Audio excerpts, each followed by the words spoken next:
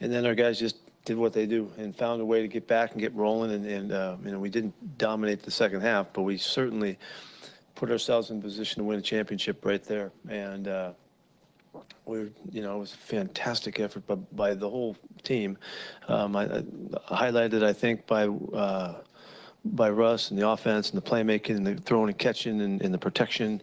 Uh, you know, we got sacked one time by that crew, you know, tonight, and uh, we had all we had the opportunities. It was there in front of us. It was like a perfect win. It was to me, it was a perfect way to win the championship, and uh, um, unfortunately, uh, you know, it just came up short by a couple inches.